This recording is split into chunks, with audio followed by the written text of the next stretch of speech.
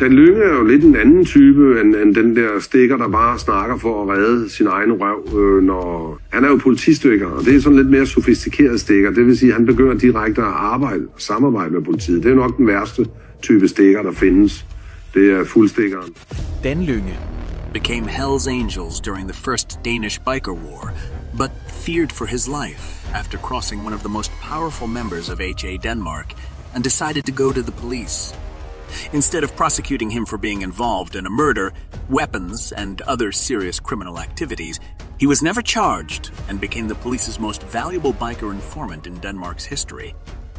This was illegal in Denmark at the time, causing a great scandal not only for the police and the security police, but also for several high-ranking officials in the government. Dan Lynge, han er en af de mange HA'er, som er blevet smidt ud i bad standing. Og han ender med at lave den ultimative. Han bliver meddeler for politiet, og derfor så lever han den dag i dag i skjul. He worked for the police as a Hells Angels member, but got kicked out in bad standing for so to change his colors and become bandidos while still working for the police. From hang around to prospect, from fully patched member to sergeant of arms, and from biker to police informant, this is the story of Dan Lynge, Denmark's best or worst informer, depending on who you ask. Whether society wants to admit it or come to terms with it, there has to be stability in the underworld. Somebody's got to run it. And people have to come to terms with that fact. You know, they have this moral uh, dilemma. You know, they think that, you know, we're going to get rid of the, uh, this organization and everything's going to be uh, gone. The, the crime's going to be gone. The drugs are going to be gone. No. This is biker history with Magnus. No, it's going to destabilize it, and somebody else is going to go, hey, I could do that. And somebody else is going to go, well, yeah, but I could do it better than him. And what happens is you create a conflict. Dan Lynge's criminal career started early in his teens, but it first became real serious when he tried to sell a handgun, and the deal turned sour when he was hit by the man he was selling it to. He shot the other man in the head, killing him. First, I feel like the flap goes down and then I see red. It happens when I'm threatened or beaten, then I will be completely defective in the head. I got six years. According to him, he was selling the gun to get out of the criminal world, but ended up doing the complete opposite. my father rode a motorcycle, and during my studies, I bought a BSA bike. Uh, but after three days, uh, I crashed, and my friend in the back seat had his head completely smashed in. That start is very uh, indicative of the rest of my life. He served his time in prison and came out a more hardened criminal than before and became a member of a small local biker club in Copenhagen, the Chosen Few. His first encounter with the Hells Angels came when he saw some of them riding in Los Angeles. When I was sailing, I saw some Hells Angels in Los Angeles and thought, that's it. That's just me. In the beginning of the 80s, his club merged with three other small clubs and became Filthy Few and prospects of the first Hells Angels chapter in Denmark, which at this time is at war with the other leading biker club, Bullshit MC. Check out my video for more on that. In December 1985, Hells Angels is celebrating their fifth anniversary, and as prospects, Filthy Few is responsible for the security in and around the event. Den 21. december træder tre medlemmer ind på Nemoland. Det drejer sig om René Nødskov Ludvigsen, kaldet Ludvig, Ole Bonnesen, som blev kaldt Ost, og Dan Lynge, der af sine kammerater blev kaldt for Den Lille. They enter a small neighborhood, Christiania, where the rival club has their clubhouse. According to Lynch, they went there to listen for some gossip about bullshit, and if they were up to something. Så beslutter vi os faktisk for at gå ind og tage en bajer og en vand på Nemo og sidder derinde. Men hvorfor skulle de lige gå ind i Nemoland? Øh, og de, de er bevæbnede. De er bevæbnede, når de går ind. De ved jo godt, når vi går ind på Christiania, så går vi ind på bullshit-området, eller i hvert fald det, der er tilbage af bullshit-området. Og vi ved, at når vi sætter os dernede, så går der ikke ret lang tid. Så... Not long after they have entered a bullshit-controlled bar, several bullshit members arrive, including the President Hofding. Jeg ser så pludselig en, der kommer ind i mit synsfelt. og der dykker bartender ned under baren. Og der reagerer jeg med det samme. Og prøver at advare Ludvig. Øh, og da jeg vender min opmærksomhed mod Ludvig, der ser jeg så, at ham, som er kommet ind der, han står med en pistol ned i hovedet på Ludvig. One bullshit member is critically wounded, along with a civilian, and the president of the club, Hovding, is killed. Jeg ser så høvding ligge på gulvet. Øh, og det er først der, jeg ser det ham. Øh, og jeg smutter så rundt om ham øh, og kommer ud derfra. Og det eneste, vi snakker om hele vejen ned til bilen, som stod ude i Prinsessegade, det var ligesom, hvordan fanden overlevede vi det her? According to Dan Lynge, it was the bullshit members who first drew their guns. However, this is something that has had people questioning the honesty of Lynge since the few witnesses present. All said that Black Sheep were the only ones with guns, and there wasn't found any other shooting weapons at the crime scene. According to Lynge, this must be because they had time to remove the guns before the police came. Kigger man overordnet på det, så det er helt klart et signal fra Hells Angels om, nu kommer vi og henter jer derind. Both Ludwig and Ost gets life in prison, which was 16 years in Denmark at the time, though they both claimed they were never there, for then later to change their story and say it was in self-defense. But Dan Lynge was never arrested or wanted by the police. It was like he had never been there. The murder of the president of the rival club was the filthy few's ticket into Hell's Angels and Ludwig earned the patch filthy few, a sign that he has gone above and beyond for the benefit of the club, and they become the second Angels chapter in Scandinavia, Hell's Angels South in Roskilde. In 1988, the war with bullshit ends when they give up and disband their club, though several former bullshit members would later become bandidos. Hell's Angels is now the biggest and only international biker club in Denmark and declares at a press conference that only clubs that work for them will be tolerated.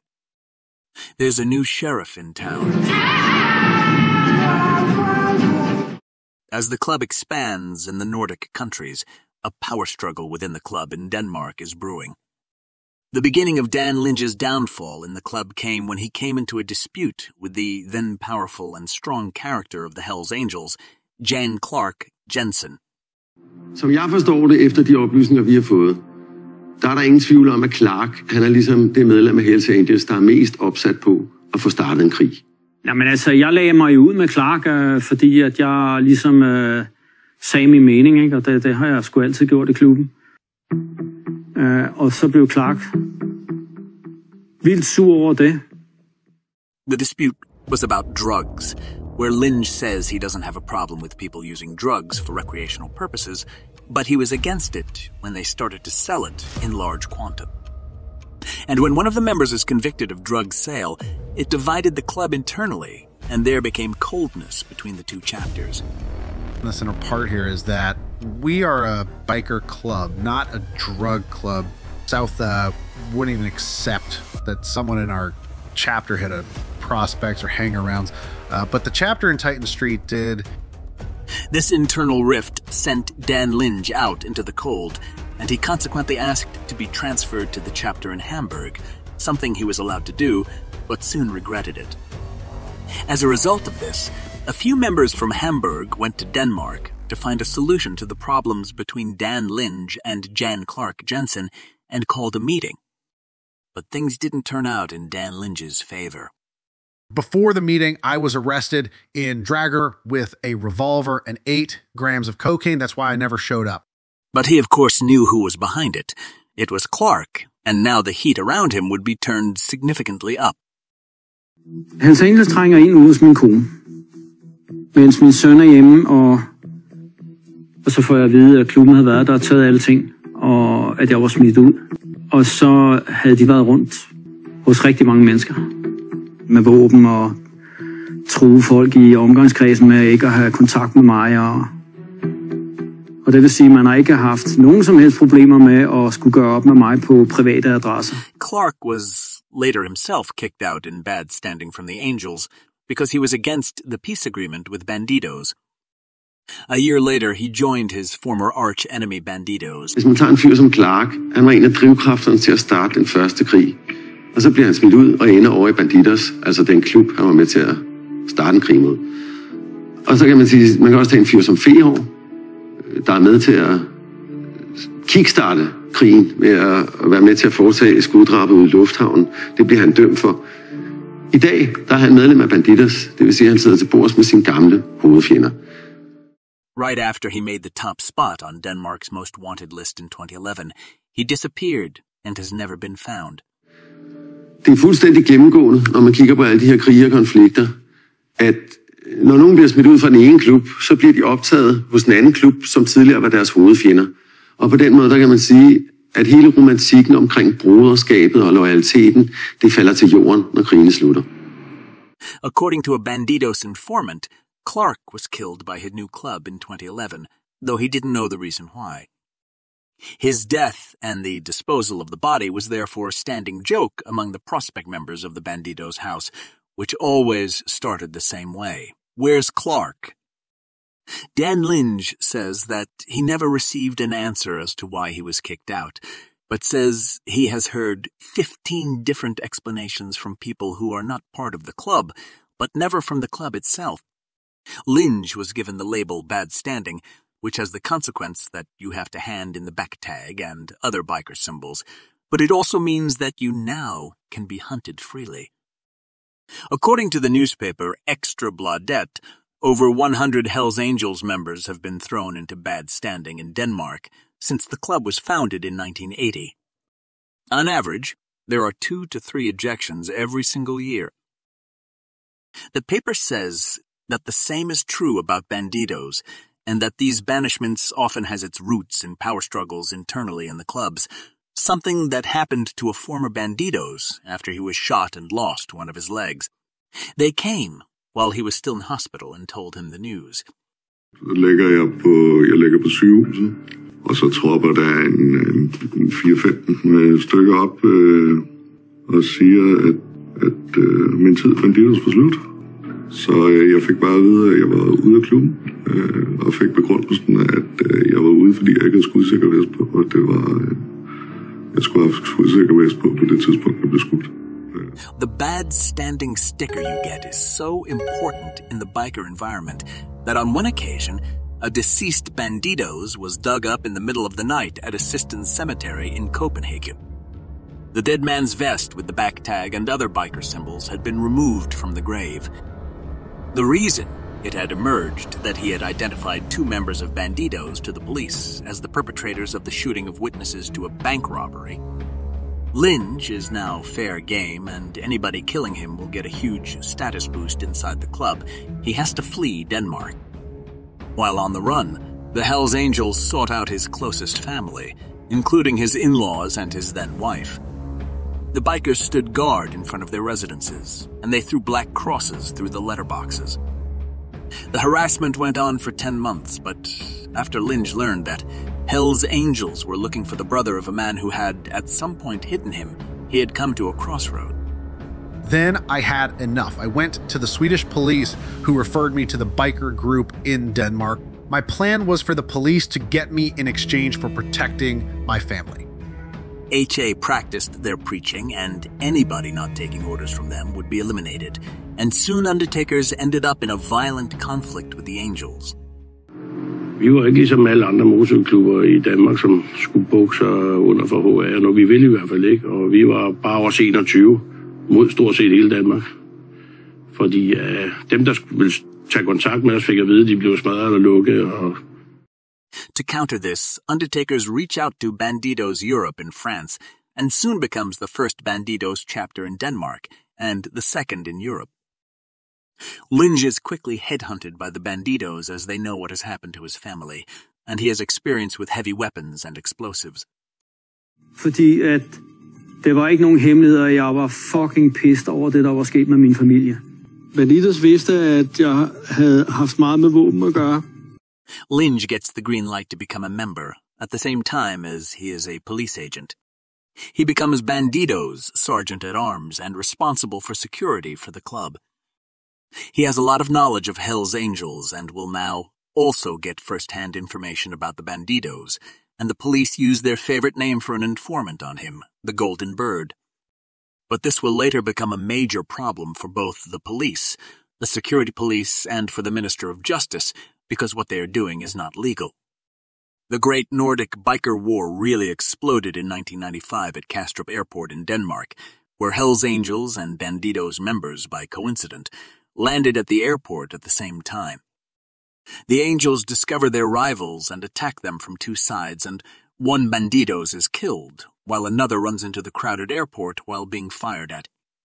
This was the first time that the war was fought in a crowded, public place, and this killing would spawn a massive retaliation from their main rival. Bandidos acquires two rocket launchers, weapons that are normally used against battle tanks in war. Lynge is asked to show how the two rocket launchers are fired, but he offers to trade them for some machine guns through his contacts instead, something they agree to. Jeg forklarer Tony helt eksakt, hvem der er, der skal gøre det der derinde. Og fortæller ham, at der er ikke ret lang tid. Jeg fortæller ham, hvem jeg havde været sammen med. Og jeg var nidkær med at fortælle eksakt, hvor vi mødtes med banditersmedlemmer, også med, hvem der havde været med, hvad der er blevet sagt.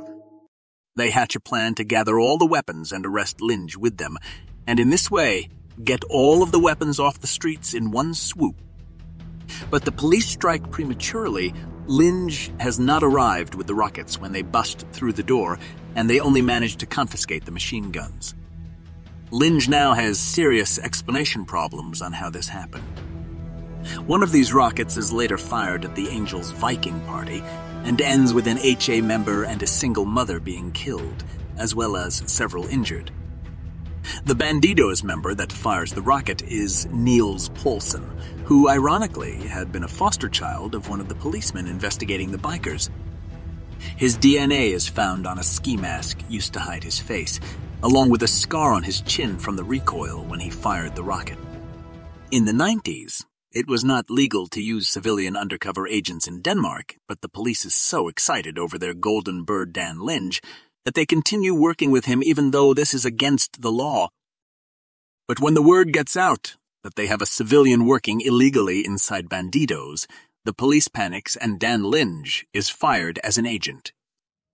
The issue with the confiscated weapons now emerges within Bandidos and Lynge knows he can't explain it in a believable way.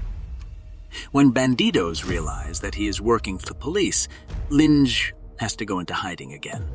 A long battle now begins for Lynge, who has been revealed as an informer both by the Angels and Bandidos, and the latter now post his address online for everyone to see. For six years, he desperately tries to get protection from the authorities, but because the police will not admit that they have broken the law, he gets no helping hand. Running out of options, Dan Lynge only see one solution left for him. Go public and tell what has happened. Da vi begynder at bringe de her artikler i Ekstrabladet med Dan Lyngens afsløringer, der bliver der lynhurtigt et politisk pres. Så der breder sig meget hurtigt øh, en stor skandale, og der bliver også nedsat en kommissionsundersøgelse. The scandal causes the Danish parliament to create the Dan Lynge Commission to find out what happened. The police panics and actually go out publicly and claim that Dan Lynge is a double agent who works for the bikers. With police chief John Bro saying in an interview, Dan Lynge simply received an offer from the biker community that he could not refuse. They told him to go to the press and say that he really worked for the bikers and undermine his credibility as a reliable witness against the biker clubs. The police chief saying that Hell's Angels and Bandidos had offered to leave Lynge in peace if he did this, which doesn't seem like a very plausible explanation. But the scandal was Dan Lynge's ticket out. He was enrolled in the Witness Protection Program and has since 2002 lived at a secret address in Sweden. He also has had plastic surgery to try to avoid being recognized. When later interviewed by the press and asked why he went public, he said, I owe it to the people who lost their lives during the biker war, not least the 29 year old woman who died during the rocket attack in Titan Street. But also the elderly woman who was killed by a car bomb in Norway. They were innocent, and the deaths could have been avoided if the police had acted on my warning. In 2003, The Dan Lynge Commission started its work, and at the center of attention was, of course, Lynge himself. However, when he was questioned by the commission, he had trouble remembering several things, something many found conspicuous and was something that undermined his credibility. In September 2006, Dan Lynge Commission publishes its report. The police are criticized for their collaboration with ex-biker Dan Lynge, but no one can be held responsible for management failure, reads the conclusion. A month later, Dan Lynge criticizes the police and the media, saying he has never received the protection he was promised during his cooperation with the police. My life has been destroyed, my family, and I have no normal life. I am armed around the clock and must constantly look over my shoulder. It will happen to me too, just like it's happened to all the others who have been in this situation. You die. It is not something the police decide. It's Hells Angels Bandidos who decide when it happens. I'm not that hard to find. How many people who ended up in jail because of Dan Lynge is unknown since the police refuses to admit what he has done and the consequences of him working with them. But there is no doubt that he is the most damaging informant to both Hells Angels and Bandidos in Denmark's history. At the time of making this video, he is waiting for his third facial operation. This is the newest public picture of him. Jeg synes Hells Angels, hvis jeg skal sådan efterrationalisere, vi var opført os lidt som USA gør jo. Vi var enerådige, vi var imperialistiske, hvis jeg skal næsten sige det på den måde, og vi, hvis ikke folk de sådan lidt fulgte ligesom, hvad vi ville, så, så faldt der branden, ikke? Det er jo blandt andet den her magtfuldkommenhed, som fører til, at Dan Lønge går til politiet. Og det er også den, der fører til, at Hells Angels de starter et af de blodigste kapitler i hele bandehistorien, nemlig den store nordiske rockerkrig. Remember to hit that subscribe button for more biker history, and please check out my other videos to see if there are other topics you find interesting.